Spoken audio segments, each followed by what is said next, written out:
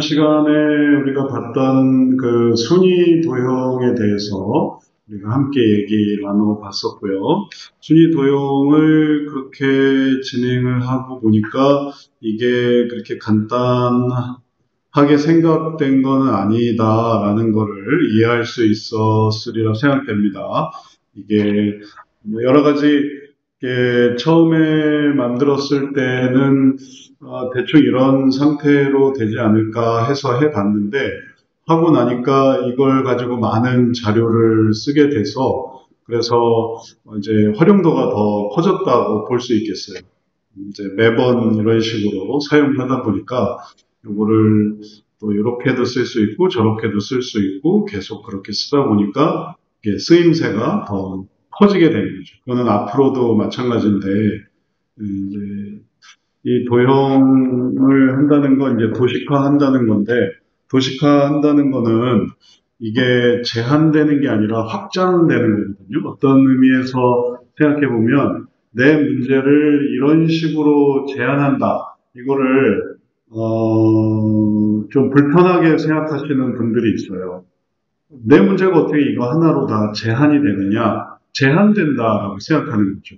근데 사실은 제한되는 것이 아니라 확장되는데 그리고 그런 부분에서 어, 우리가 또 이해해야 할 부분이 아, 자 어떤 사고가 있는데 이 사고를 음, 도식화하는 것의 의미를 생각을 해 보셔야 되겠어요. 자, 이런 어떤 사고 체계가 있다고 한번 해봅시다. 이걸 이제 생각을 할 수 있어. 여기에 이제 많은 생각들을 이렇게 담을 수 있습니다. 이게 이제 사고죠. 생각들을, 표현을, 막 이렇게 표현들을 이렇게 여러 가지로 담을 수가 있습니다.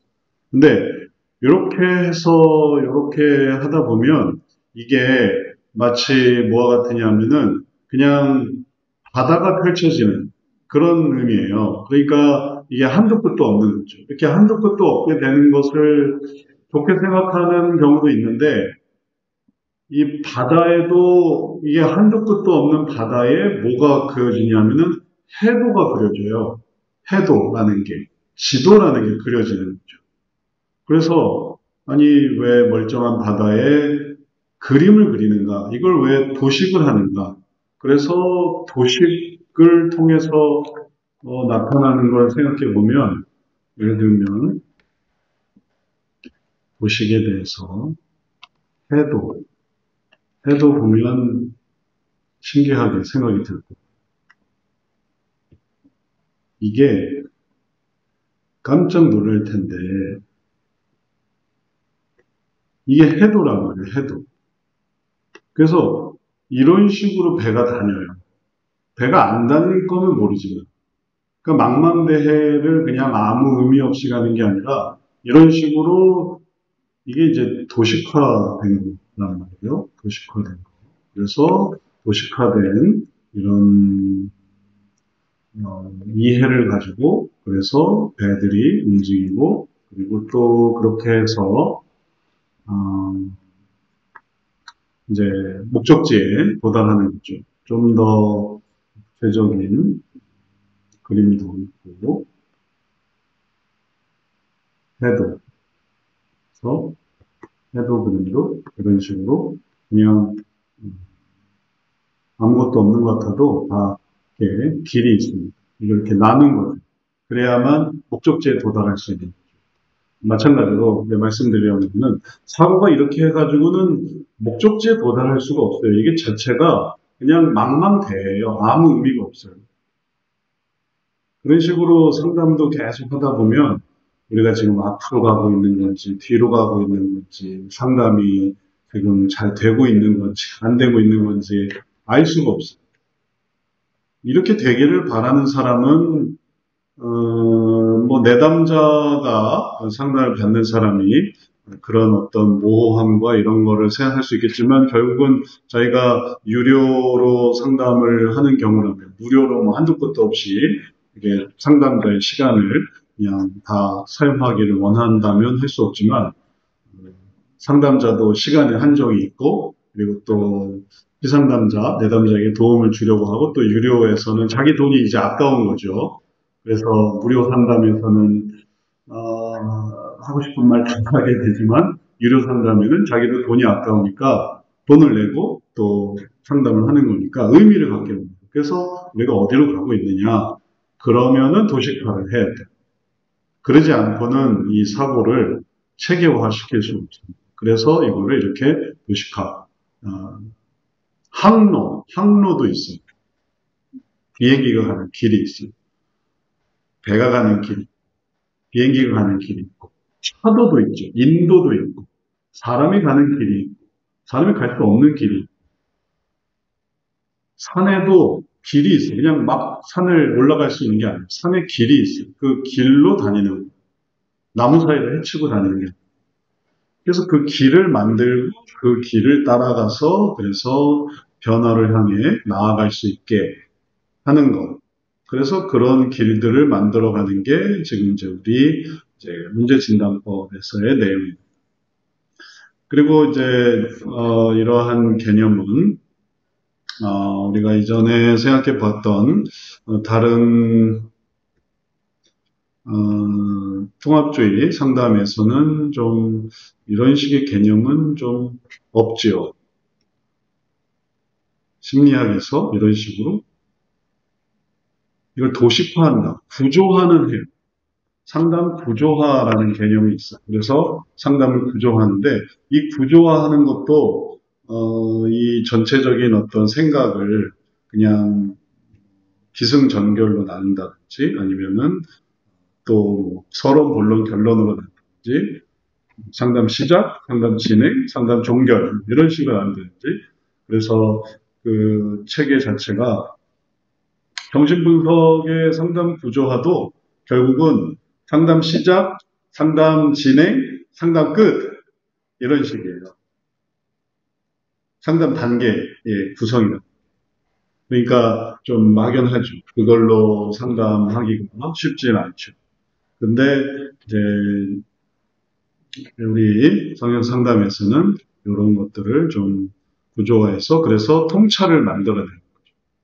그 구조화 속에 통찰이 생겨요. 그래서 이제 구조화를 안 하게 되면은 이게 혁신주의를 배우면서도 이 구조화를 안 하, 이 도식화를 안 하게 되면 그러면은 이 위로 올라갈 수 없어요. 그래서 도식화를 가르치는 거죠. 도식화 해야 된다. 우리가 처음에 배웠던 어, 또 앞으로 배우게 될 역동성 이런 부분도 다 도식을 통해서 이루어지는 그런 내용. 그래서 도식화를 통해서 우리가 어떤 의미를 이런 식으로 보이고 있다. 그래서 이게 뜨거운 태양이고 그리고 또 뜨거운 태양에 이것도 도식이 되어 들어가는 거죠. 악순환이 있고 거기에 가지가 있고 또 열매가 있고 가시가 있고 마음에 뿌리가 있고 이것도 다 도식이에요. 이런 식의 도식을 계속 만들어 가는 것이죠. 그래서 이런 식의 도식을 만들어서 그러면은 이 악순환의 유형을 또 도식화해보자 해가지고 그 도식을 하나 만들어서 음. 그것도 안 돼. 어. 아니, 하지 마.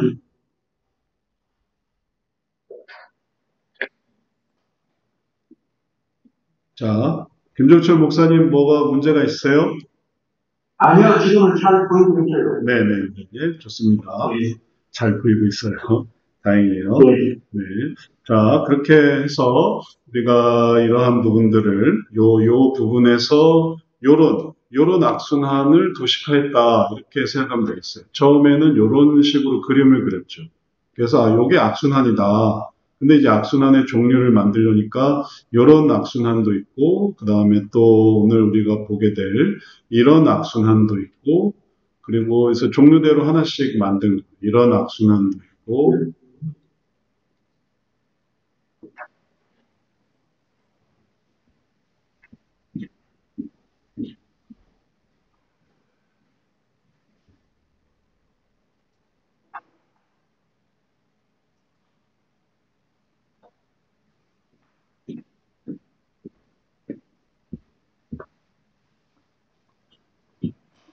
이런 악순환의 도식들을 만들었고, 그 다음에 이 태양의 도식도 만들었고, 그래서 이 뜨거운 태양을 어떻게 표현할 거냐, 이런 괴로움을 어떻게 표현할 거냐, 그 다음에 또 선순환을 어떻게 표현할 거고, 그 다음에 결심을 어떻게 표현할 것인가.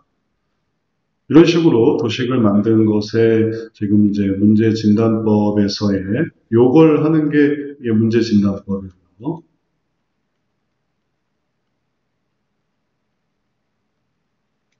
요것만 유형은 생각해 보면 이게 문제 진단법이고 나머지도 다 도식을 만들어 놨으니까 그 도식에 따라서 이해하시면은 이게 이런 식으로 확정이 되는구나라는 것을 생각을 할 수 있겠습니다.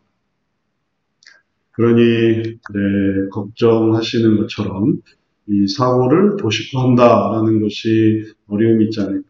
피상담자가 뭐 이거 이 도식을 보기 싫어하면 안 보여줘도 돼요. 막 들이밀고 막 이걸 봐야 됩니다. 이럴 필요가 없어요. 할머니 혹은 어린이 그냥 자기 머릿속에 있습니다. 비행기 혹은 또 기장 혹은 배 선장 태도를 보여주면서 우리가 이걸 갈 거면 이렇게 말하진 않죠. 그냥 선장만 알고 있으면 돼요. 나머지 그냥 가만히 앉아 있으면 목적지에 도달하니까. 배가 그냥 망망대해로 가는 것 같아도 해로를 따라서 잘 GPS로 해로를 따라 가고 있는 거니까 그는 걱정하지 않아도 되는데 이제 문제는 선장이 해로가 없다. 그러면 이제 그러면 패닉이죠, 패닉. 선, 선, 그 배에 탄 승객들은 얼마나 걱정이 되겠어요. 우리 선장은, 우리 배는 어디로 갈지 방향성이 없다. 그럼 이제 뱅뱅뱅 돌다가 망망대에서 이제, 이제 다치는 거죠. 그러니까 상담자는 도식이 필요해요. 피상담자는 도식이 있어도 그만, 없어도 그만이고.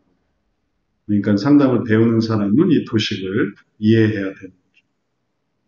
그리고 이 도식에 따라서 이 사고의 흐름을 이해하고 그 사고를 어 이제 파악해서 그 사고를 이제 변형을 시켜서 더 좋은 형식으로 그래서 이런 복잡한 형식들을 좀 더 유연한 형식으로 해서 그렇게 움직이게 되는 거죠.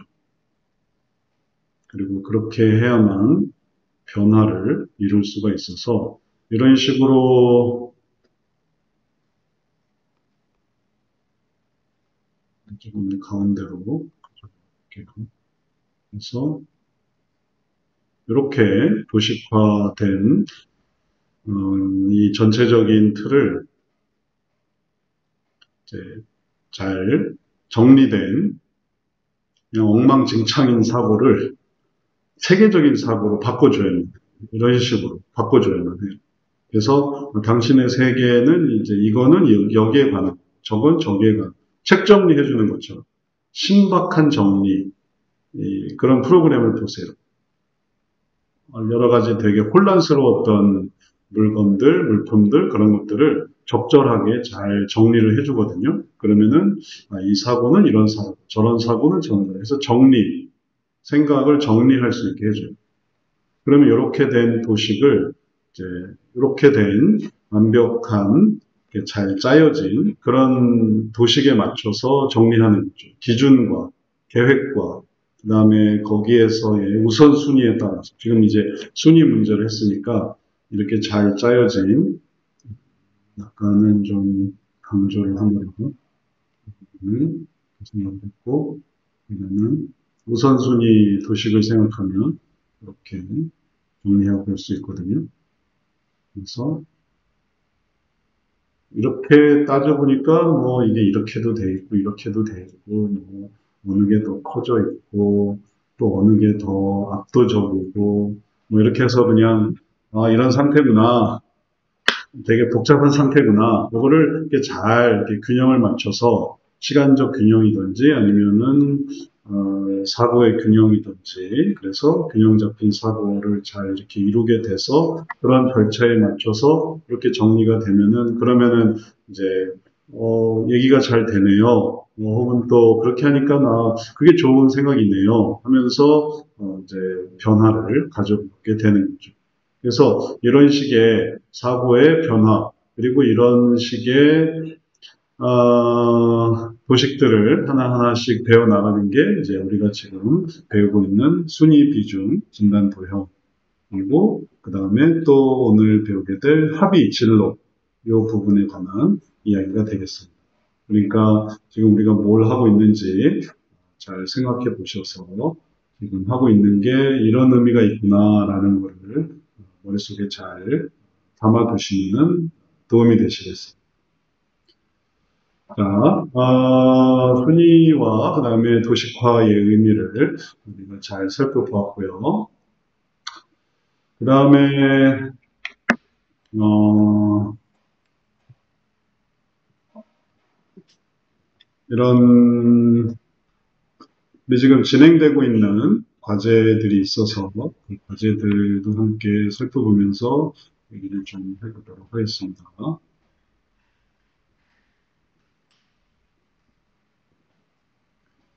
지금 이제 우리 이, 어, 이 과정이 지금 현재 이제 공개 프로그램이고 공개 프로그램이라는 의미는 뭐냐면은 학생들이 다 들어와야 된다는 그래서 지금은 일단은 이제 온라인에 이 정도 고미 컨사님, 김조철 목사님, 그 현장에 지금 김지희 집사님 와 계시거든요. 김지희 집사님 한번 보여드리려고 하니까 적극 거부하셔서 지금 모습을 못 보여드리고 있지만 현장에는 김진희 집사님 모시고 와 계시고 그래서 이제 이 프로그램 내용을 예전에는 세미나로 했다가 세미나는 이제 기본적으로 알고 있는 걸 전제로 한다는 그런 의미가 있어서 그래서 요즘 어렵게 느껴지는가 해서 이제 올해부터는 프로그램이라고 해서 그냥 모르는 단계에서도 배울 수 있게 그렇게 했고요. 그리고 지금 어, 배우는 내용이 음, 지금 수준이 좀 높기는 해요. 커리큘럼상 어, 우리 개론이나 원리나 역동성 방법론을 안 해본 상태에서 지금 문제진단법이 이제 여기에 해당하고 그러니까 좀 어려운 내용이죠. 그리고 또 들어봐도 어렵게 생각되실 수도 있어요. 도식화를 한다는 등 혹은 또 그것이 뭐 이런 모습이 있다는 등 이런 것들은 이게 이제 이게 좀 이해가 돼서 문제진단법이 이해가 돼서 아, 이전에 개론이나 최소한 역동성 방법론에서 그런 도식이 사용되고 있다. 이런 것들을 이해하고 나면은 문제진단법에서 이제 확장되는 걸 알 수 있는데 이런 역동성의 그림이라든지 방법론 그림이라든지 이런 것들을 잘 모르는 상황에서 문제진단법 얘기를 듣는 게 좀 어려울 수 있죠. 그리고 또 그렇게 생각해 보면은 3학차도 되게 어려워지게 될 수밖에 없어요. 역사라든지. 세션, 세션이라는 게 있어서 우리는 상담사가 다 이런 성경, 음악, 미술, 놀이 이런 세션들을 다 진행할 수 있는 걸 가르치거든요. 왜냐하면 실제 상담에서 필요해서 그래서 예전에는 그냥 1학차만 공부하고 상담사 자격증을 주고 그랬는데 그 다음에 또 3급, 2급, 1급 뭐 이런 식으로 구별을 했는데 3급도 나가서 상담을 하려니 이게 여러 가지 이제 문제들을 상담을 해야만 하는 거예요. 그러니 요 정도 배워가지고 상담을 시키려고 했더니 교회 교회 뭐 순장 정도면 하겠는데 센터에서는 이게 어렵더라고요. 그래서 저도 막 보낸 상담사가 어려움을 겪고 혹은 또, 또, 왜냐하면 센터 같은 경우는 별의별 문제, 특히 이제 정신질환 문제도 막 나오거든요. 그러니까 1학차만 배워가지고는 도저히 감당이 안 되고, 그리고 그걸 또 저도 막 같이 막 지도하고 그러다 보니까 나중에는 이렇게 해서는 안 되겠다 해서 지금은 완전히 바뀌어서 다 해야 3급, 다 해야. 요것만 해도 3급이었는데 이제는 다 해야 3급이 되버렸어요.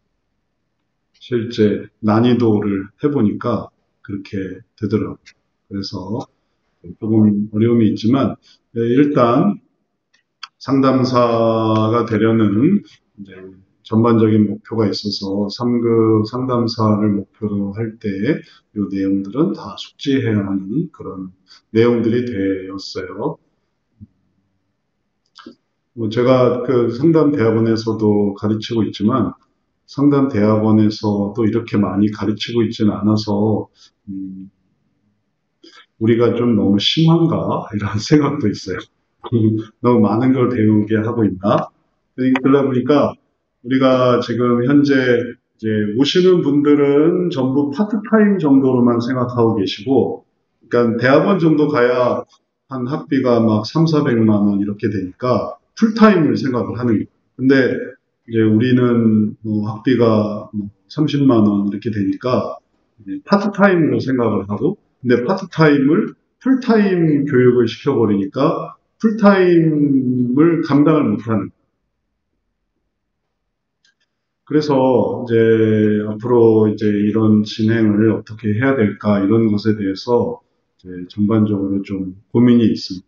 상담사를 센터 상담사를 위해서 어, 센터 상담사를 이게 그런 풀타임이 되거든요. 그렇게 되면 그건 대학원생들이나 할 수 있는 건데 이걸 파트타임에서 오신 분들을 풀타임으로 교육을 하는 게 과연 맞는 건지 이게 하여튼 우리도 지금 저도 지금 그런 부분의 진로 부분에 대해서 고민이 많아서 간사님들이나 지금 현재 상담하고 계신 상담사들하고도 계속 의견 조율을 하고 있어요. 어떻게 하는 게 더 좋을지. 여하튼 앞으로 또 어, 다른 과정들이 생길 수 있겠지만 지금 현재까지 해 놓은 거는 이제 들어오시는 분들이 파트타임을 생각하시던 풀타임을 생각하시던 어쨌든 우리는 3급 상담사로서 이걸 다 할 수 있는 것을 가리키고 3급이 워낙 어렵기 때문에 2급, 1급은 지금 현재 엄두도 못 내고 3급 하시는 분들도 헉헉대고 있어서 이거 2급으로 올린다. 1급 올린다.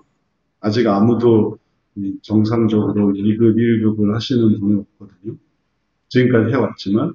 그래서 제가 이거를 잘 진행을 잘못하는 건지, 교육과정에 어떤 허점이 있는 건지, 이런 거는 하여튼 지금 고민 중입니다.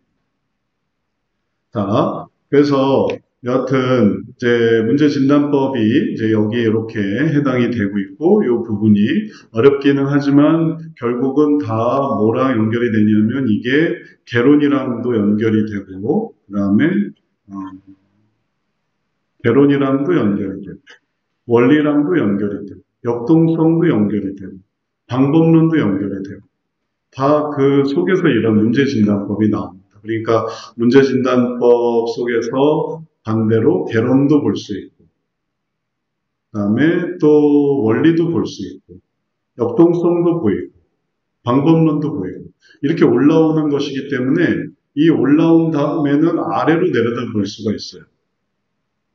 이제 그, 그 이유도 마찬가지고, 이게 높은 곳이기 때문에 이 높은 곳에서 또 낮은 곳을 예, 바라다 볼 수 있어요. 그래서 그 이유를 생각할 수 있는 다시 말하면 과제로 이렇게 돌아가서 1학차 과제를 보면 요번에 우리 학생 진도표가 좀 업데이트 되었거든요. 그래서 현재 각각 이제 그 우리 별명, 닉네임으로 표현이 됐고 또 다 시작일이 다 제각각이에요.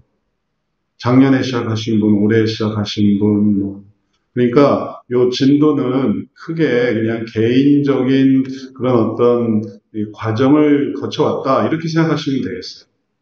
이게 여기에 이제 뭐 순위도 나타나고 있는데 이건 큰 의미는 없습니다. 늦게 시작했으니 당연히 순위가 낮은 거니까 그걸 가지고 뭐 좌절하거나 아니면 슬퍼하시거나 그럴 필요가 없어요.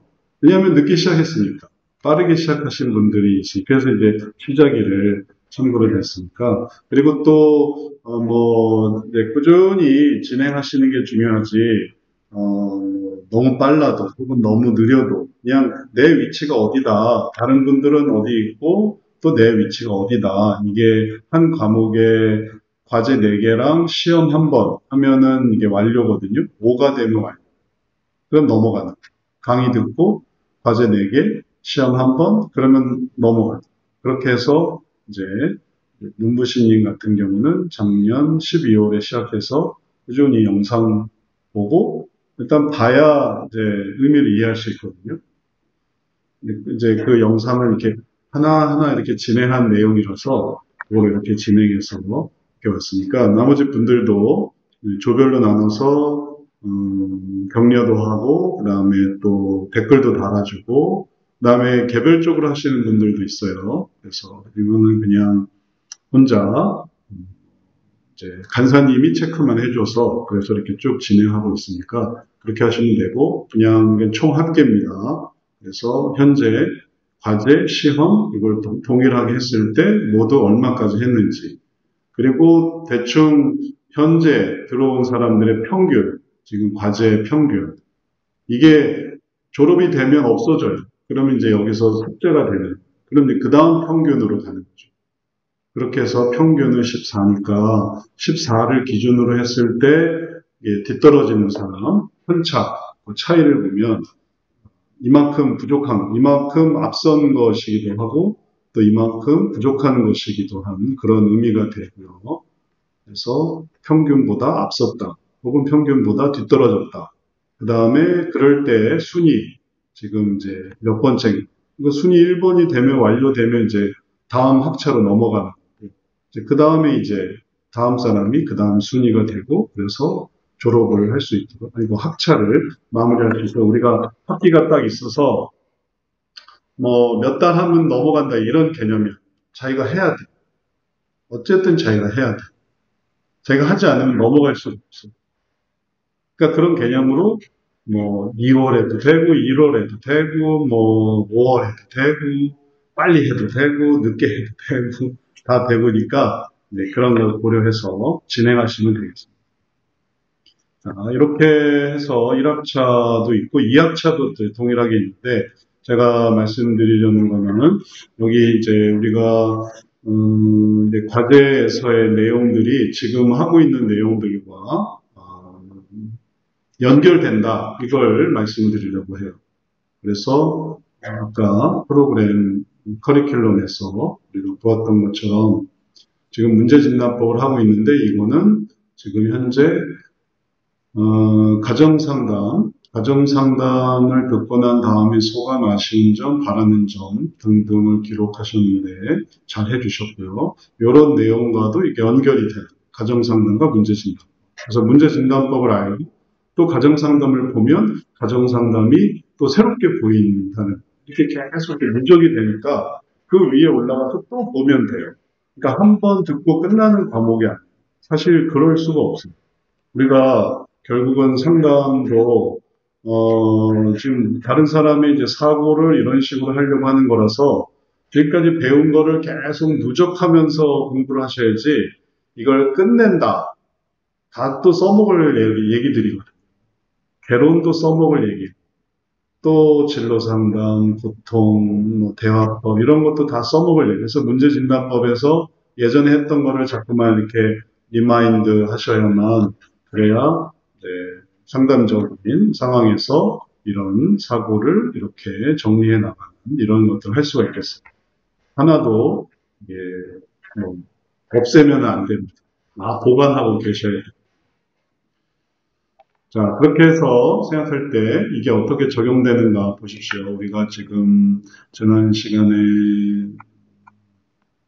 순위, 순위 유형, 그래서 가치의 의미와 그 다음에 가장 중요한, 그리고 거기에 따라서 타인이 형성되고 또 자신의 발전, 그 다음에 자신의 여가까지, 그리고 이게 사실 이렇게 돌아가면서 가장 중요한 것을 하루에 하게 된다.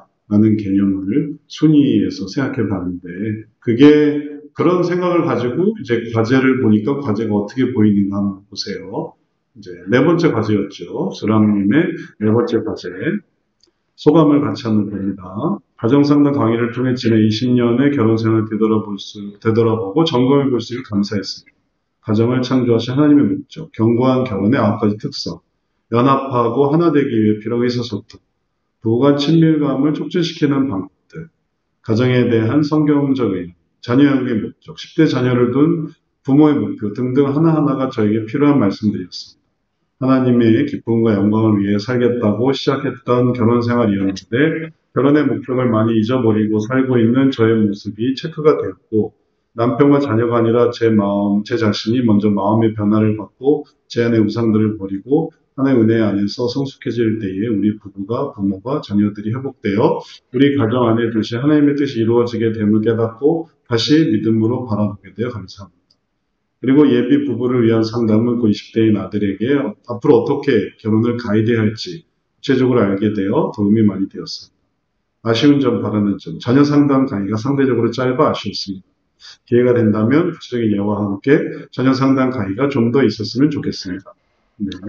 그, 잘 해주셨고, 또 이러한 수, 그, 이제 이해가, 요게 가정 상담을 집어넣으니까 이게 또 말이 되는 그러니까 가정 상담은 완전히 다른 얘기로 진행되는 게 아니라 가정 상담의 그런 요소들이 결국 하나님께서 어떻게 어, 이 가정을 또 베풀어 주셨고 그리고 또 하나님 관점으로 생각해 볼 때 어떤 것이 최우선적이어야 되는지 그리고 그럴 때 각 가정에서 어, 말하자면 이제 타인에 해당하는 그러니까 부부에게서는 아내의 타인은 남편이고 말하자면 이제 상대자죠, 상대자. 자기가 상대하는 남편은 아내를 상, 아내는 남편을 그럼 이제 부부가 되는. 그다음에 부모는 자녀를 상대해야 돼. 자녀는 또 부모를 상대해. 예비 부부에서는 이제 여친, 남친을 상대해야 돼. 그럴 때 그런 의미를 생각해서 하나님, 타인, 그리고 자신, 그리고 자신의 발전을 두 개로 나눠서 자신을 두 개로 나눠서 그래서 자신의 여가와 그 다음에 자신의 발전으로 생각해서 하나님, 타인, 자신 그래서 이런 구도로 우선순위를 생각하고 해보다 보니까 그러니까 어, 더 많은 것을 알게 되었어요. 그러지 않고 음, 이걸 우선순위로 하고 하나님이 뭘 원하시는가 이런 걸 모르게 되면 이제 막 뒤죽박죽이 되는 거죠. 그리고 그 뒤죽박죽이 된 모습이 우리가 상담 속에서 보는 참 난감하다 이런 거죠. 우리 최근에 뭐 부부 어, 상담 프로그램들이 많이 생기고 있어요. 그래서 그렇게 해서 성경적이지 않은 그러니까 일반 사회 속에서 부부 문제를 어떻게 조명하는가 보면은 진짜 난감해요. 난감해. 야, 저 참 이게 복잡하다. 왜냐하면 서로 원하는 게 있고 그 원하는 것이 충돌하기 시작하니까 남편 남편대로 또 아내는 아내대로 그리고 또 부모와 자녀에게 부모 자녀대로 또 충돌하는 자녀의 어떤 원함이 있어서 말 안 듣는다든지 거부한다든지 또 부모는 또 그것을 억압한다든지 그런 많은 충돌들을 이 전체적인 이야기 속에서 듣게 되는데 그걸 어떻게 이 도식을 짜고 그 다음에 그걸 어떤 식으로 바꿀 것인가. 그게 너무너무 다른 신앙적으로 하는 것과 비신앙적으로 하는 것. 이렇게 한다는 자체는 되게 비슷한 것 같지만 그걸 통해서 하나님께로 가느냐 아니면은 세상으로 나아가느냐. 이제 그런 것들이 이제 심리학적인 상담과 그다음에 성경적인 상담의 큰 차이가 되는 거죠. 우리가 처음에 우리 프로그램을 시작할 때 보았던 어, 심리 이론을 쓴다 하더라도 이 심리 이론을 가지고 통합주의적으로 해서 하나님의 뜻을 따라 나아가려고 한다면은 그래도 이제 이게 의미가 있는 거고.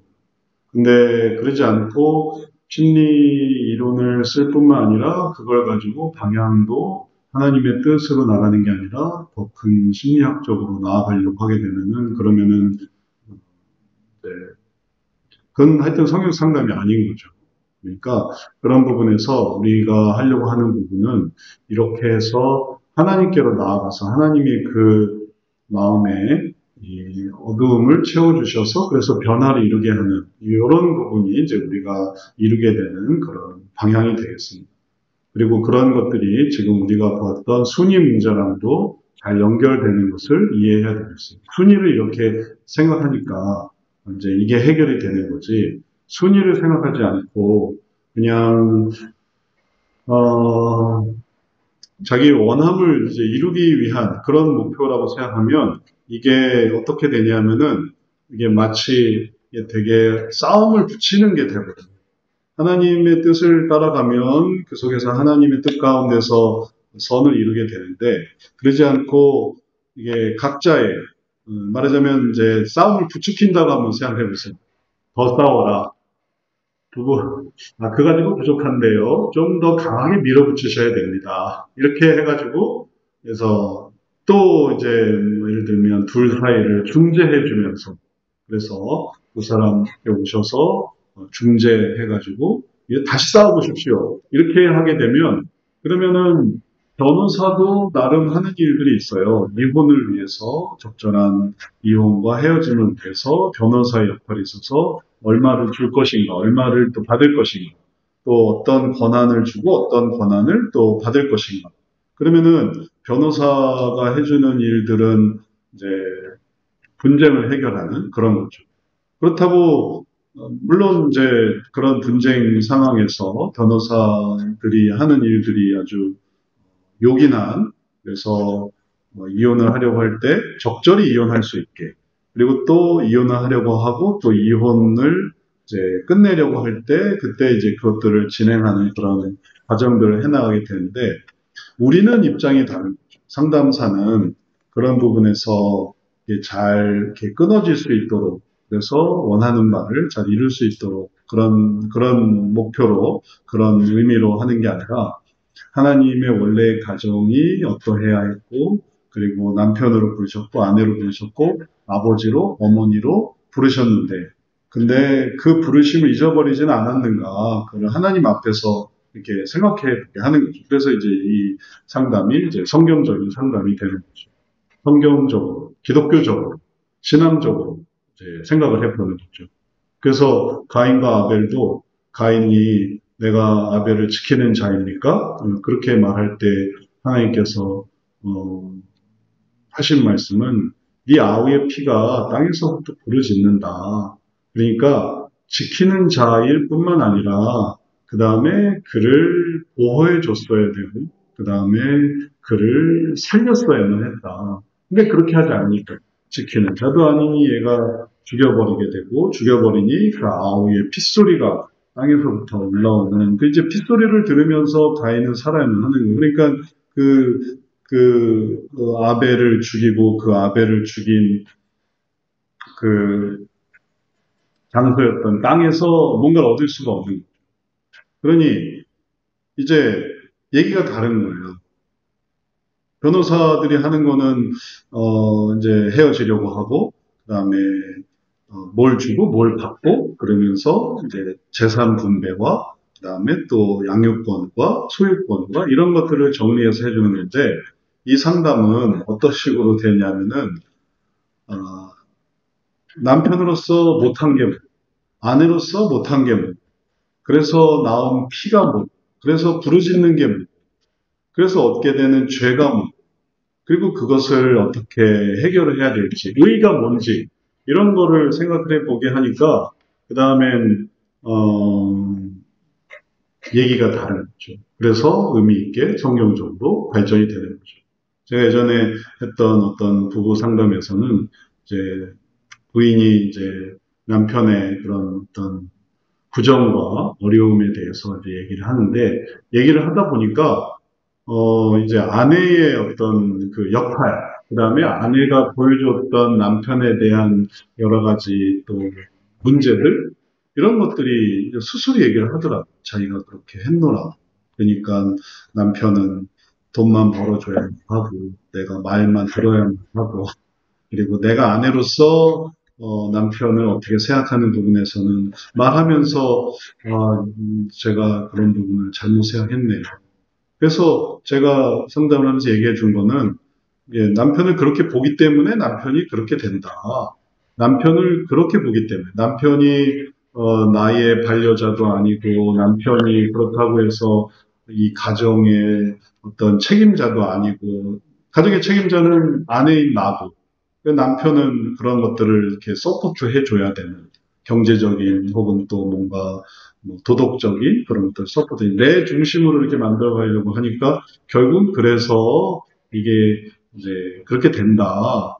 그러니까 그럼 어떻게 되냐고 해서 그러면 성경적으로 다시 해보자. 하나님께서 기뻐하시는 거대로 해보자. 그래서 생각을 바꿔서 아 그러면 남편을 세워야 되고 남편이 그 위치에 있도록 하고 남편 남편 역할을 하고 그러니까 남편이 달라진 그리고 그게 놀랍게 그 전에는 남편이 막 아주 안 좋은 사람이고 그렇게 보면 볼수록 남편은 또 나빠지는 남편은 아주 구제불능이고 소망이 없고 뭐가 문제고 그렇게 그렇게 보니까 더 나빠집니다. 근데 하나님 안에서 남편을 뭐라고 부르시는지 사도 바울도 처음에는 아나니아가 볼 때는 아주 구제불능이었어요. 이 사람이 교회로 들어올 수 있을까를 걱정하던 사람이었어요. 근데 하나님이 그렇게 이제 부르지 않으셨으니까 이제 그걸 생각해서 받아들이니까 또 잘하게 되는 거죠. 그러니까 이제 남편이 변하게 돼서 그래서 나중에는 아주 좋게 여러 가지 문제들을 잘 해결할 수 있게 되는데 그런 것처럼 우리가 이 순위 문제에서도 그래서 이렇게 보면은 이거는 아, 가정 상담 얘기만인 줄 알았는데 그걸 이렇게 보면은 그게 우선순위 문제가 되는. 그러니 제가 말씀드리려는 거는 결코 이게 끝나는 게 아니고 이걸 더 발전시키는 거. 그 이면을 더, 더 파헤치는 거. 제일 처음에 표면적인 것만 본 거지. 개론, 원리, 역동성, 그 밑에 깔려있는 가정상담과 대화법과 그리고 그 밑에 깔려있는 문제 진단과 그 밑에 깔려있고 깔려있는 그 속에 있던 역사, 이 상담이 어떻게 진행됐고 또 세대, 세대 상담이 또 자녀 상담과 이어지는 거죠. 그래서 아까 이 가정 상담을 듣고 자녀 상대적으로 짧아서 아쉬웠는데 이게 또 기회가 있어요. 어떻게 기회가 있냐면은 이 부분에서 부족했던 거를 또 여기서 또 보완을 해요. 끝이 없죠. 그리고 여기서 이제 하다 보면 이제 놀이 세션 같으면은 자녀들에게 어떤 놀이를 해줘야 되는가, 어떻게 시간을 보내야 되는가, 또 가족 행사로 할 수 있는 게 뭔가 이런 것들도 다 이제 이렇게 연결되어 있기 때문에 이게 뭐 여기서 끝을 내려고 하면 안 되고 이게 다 이게 밑에 또 뭐가 있기 때문에 어쨌든 배워 나가는 한에서는 이걸 이렇게 꾸준히 이렇게 진행하시는 게 도움이 되시 되세요. 근데 음, 그런 생각을 하지 못하시거나 아니면은 그렇게 생각하는 게 쉽지 않거나 하게 되면은 그럼 이제 여기에서 이 부분을 계속 반복을 해드리는 수밖에 없는 그래서 이제 프로그램을 생각을 하는 거예요. 그러면은 이런 부분에서 프로그램이라는 개념으로 어, 초반부에 설명했던 이런 간단한 내용들을 개론, 그 다음에 원리, 역동성, 방법론 이런 것들이 가장 이게 표면적인 그런 부분이니까 그 밑에는 또 뭐가 있고 그 밑에는 뭐가 있고 그 밑에는 뭐가 있고 이런 구조로 되어 있는데 이 부분을 계속 반복하자. 그래서 프로그램을 돌린다. 그래서 계속 개론을 하고 계속 원리를 가르치고 계속 역동성을 계속 방법론을 계속 반복을 해서 올해 방법론, 내년의 방법론, 후대 방법론 이렇게 생각을 할 수 있도록 생각했던 거죠.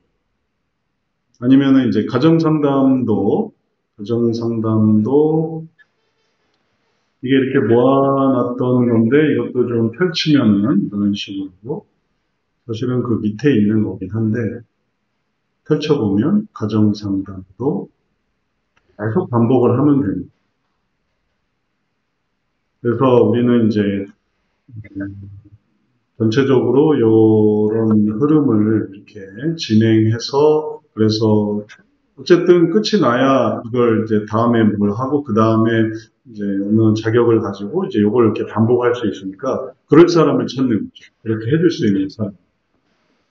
근데 또 이제 가르치는 거는 배우는 거와는 또 달라서 프로그램 진행하는 이제 부담스러워 하긴 하세요. 그래서 그리고 또 저도 역부족인 제가 가정 상담을 계속 할 수는 없고 저는 이걸 다 할 줄 아니까 또 다른 걸 해야지 가정 상담을 제가 계속 자녀 상담만 계속 할 수는 없어서 그래서 지금도 문제 진단법 하고 있잖아요. 가정 상담을 못하고 작년에 했으니까. 근데 또 작년에 오신 분들은 했지만 또 올해 오신 또 작년 가정 상담을 또 했지만 그걸 또 들을 수가 없거나 아니면은 예전에 들은 거를 또 볼 수는 있지만 그걸 보기가 좀 어렵거나 어, 프로그램 영상에서 예전 가정상담 보실 수도 있는데 그건 또 너무 지났다고 생각해서 옛날 거는 좀 보기 어려워하시거나 그러면 또 데리고 하는 게 필요한데 그러려면 누군가 그걸 해줘야 되는데 그렇게 이제 할 수 있는 사람이려면은 그 이전 거를 배운 사람이어야만 이걸 하는 거죠. 요거 하나 배워서 요거를 한다는 게 이게 쉽지 않거든요. 이걸 말하자면 이걸 다 하고 나서 보면은 이게 새롭게 보여요. 그 깊이가 어, 이게 다른 걸로 다 연결된다는 걸 알고서 하니까 이게 딱 가정상담 그 내용만 딱 전하는 것만 같은 전하는 것으로 끝나는 것 같은데 또 그게 또 그런 게 아니라서 딱 요 과목을 당장 지금 배운 사람이 요거를 이제 다른 데서는 가르칠 수 있죠. 다른 데서 그걸 딱 배운 다음에 우리 내부가 아닌 다른 데서는 그걸 가르쳐 볼 만한데, 그래서 뭐 교회에서 내가 이걸, 요거 배운 거를 내가 어딘가 다른 데서 해보겠다. 그럼 다른 데는 그게 처음 듣는 거니까 그게 가요. 근데 이제 우리 안에서 프로그램을 진행하려면은 이제 질문도 많고 혹은 또 어, 뭐 이런저런 또 고민도 많이 생기고 그러다 보면 또 상담이 되고 꼭 견고한 결혼 얘기 나오면은 견고한 결혼이 안 되는 얘기가 나오는 거고 견고한 결혼이 안 되는 얘기를 하다 보면 그러면 결국은 상담이 되고 그러니까 상담에 대한 어떤 기본적인 이해가 있어야 음, 부부간을 촉진시키는 방법들. 근데 안 된다. 그럴 때 어떻게 해야 되냐. 의사소통이 필요한데 안 된다. 그럼 어떻게 해야 되냐. 뭐 하라는 것만 가르쳤지 안 됐을 때는 어떻게 해야 되는 거는 이건 상담 얘기니까 그거는 그 더 깊은 거를 해야만 답변을 할 수 있는. 답변을 안 한다면요, 그냥 배우고 끝난다면 할 부분만 하긴 하죠. 그래서 음, 이제 이 부분들이 앞으로 지속적인 그런 프로그램이라는 과목이라기보다는 프로그램. 왜냐면 과목은 한두 끝도 없어서 이걸 이제 프로그램으로 해서 진행을 할 때 그때 이런 부분들을 또 잘 해볼 수가 있겠습니다. 여하튼 이제 우리가 보았던 이 순위가 단순히 그냥 어, 이걸로만 끝나는 게 아니라 전반적인 거를 다볼 수 있는 그런 내용들이고 그 다음에 그런 내용들을 이해하게 되면 더큰 도식을 갖게 되고 그리고 더 큰 관점을 갖게 된다. 이걸 생각해 보면 되겠습니다. 마저와 함께 우리 함께 얘기를 나눠봤고요. 어, 지금까지 한 것에 대해서 질문과 그 다음에 또 어, 들은 소감이 어떤지 얘기 나누고 잠깐 쉬도록 하죠. 김진희 집사님 그 마이크 대고 한 말씀 해주세요. 네. 소리는 안, 아, 저기 모습을 안 나오니까 그, 그, 그 마이크 전원을 한번 켜보시겠어요? 그 위로 올려보세요. 그래야 소리가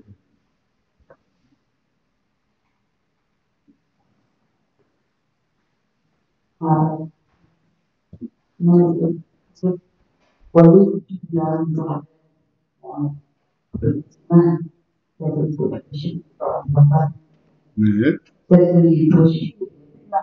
그들이 도 상상은 원래 그런 있습니다. 음. 어, 그것이 굉장히 많이 생각이 들었고요. 그래서 그동안 제가 해왔던 이제 부분이 음. 지도가 별로 없었던 그냥 경청이고 공감이고 또 자기 문제를 풀어가는 음. 그렇게 마음이 들어졌지 어떤 앞사람의 생각을 그런 부분이고 그래서 이런 건좀 문제이고 그래서 있는 어디고 그래서 그 상담을 설계해서 그런 것들을 많이 해보시면 하는데 어 그러니까 하는 생각이 것 같아요. 어, 사람의 문제가 하나님 없이 너무 가는 발견한 진로, 발견한 건 많은 있었던 것 같은데, 음. 좀더 구체적으로 생각을 정리하고, 하고, 지도를 걸어가고, 그런 것들이 음. 네. 네, 네. 잘 들으셨어요? 골비 권사님 잘 들으셨어요? 아, 네, 잘 들었습니다. 소, 소리는 잘, 소리는 잘 들리세요? 네, 잘 들렸어요. 네, 네. 저도 김진 집사님 말씀처럼 음, 그 도시계의 의미가 길을 물어준다는 거, 구체화시킨다는 거, 그런 걸 아는 의미가 있을 것 같습니다. 네, 네. 어, 또, 김종철 목사님도 한 말씀 해주시죠. 그 음소거를 해제하시고 말씀하셔야 돼요.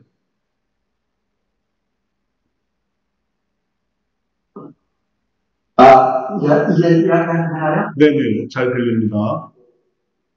아, 그동안 제가 좀, 그 강의를 많이 못 들었었고요. 진도를 많이 문다가, 예, 그렇게 하- 하다가, 어, 생도표를 보니까, 어, 소리가 상당히 밑에, 열심히 해야 되겠다. 네. 너무 그동안 너무, 네, 네, 너무, 어, 내가 바쁘다는 이해로, 네. 어, 강의를 너무 많이 못 들었다, 못 들어서, 네. 이, 이 문제구나. 그래서, 시간을 내서라도, 음, 네, 강의를 좀 드려야겠다. 그 생각을 하고, 음, 또 가정도 열심히 해야 되니까, 요즘 어제부터 제가 그런 생각을 하고 있어요. 네. 어, 이제, 예, 그리고 이제 여기 이것도 진단법도 이제, 어, 이, 연동해서 다, 이 기독교 배우니까 성경적 상담하거나 다 연결이 되는 거기 때문에, 예, 상당히 유익을, 유익을 합니다. 그래서, 음, 어차피 이것은 꾸준히 해야 되는.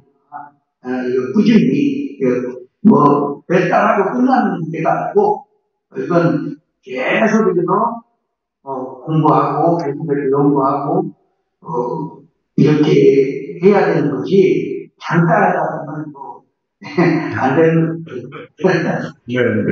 그 아무튼, 저, 교수님이 이렇게 강의를 듣고 있으니까, 예, 이게, 긍정적인 에너지가 생기는 것 같습니다. 네. 예, 열심히 해야겠다, 해야 되겠다 하는 그런 긍정적인 에너지가 생깁니다. 그게, 그러니까 그 과정이 있다는 의미죠. 혼자서는, 혼자서는 그 예.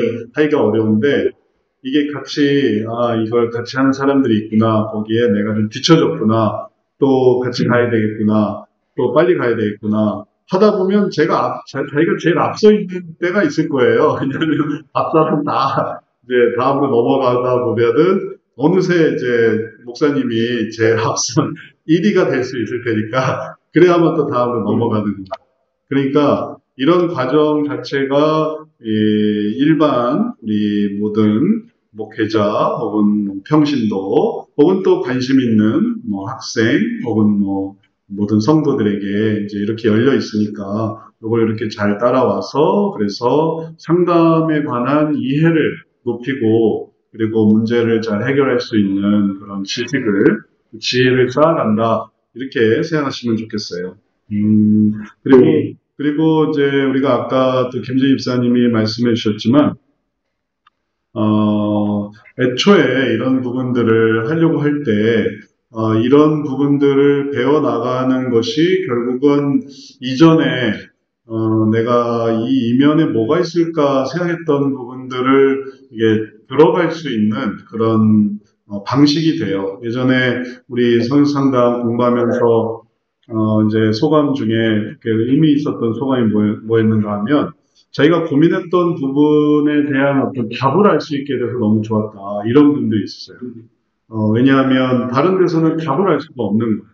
말씀하신 그 경력, 공, 경청, 공간, 동일시 이런 걸로는 답을 알아갈 수가 없어요. 그건 그냥 그렇게 이제 표면에서 한다는 그런 의미지 그걸로 그 사람이 왜 그런 생각을 했고 또 왜 그런 어려움이 있는지를 이렇게 그 밑에서 무슨 일이 일어나는지는 그건 이렇게 들어가 봐야만 알지.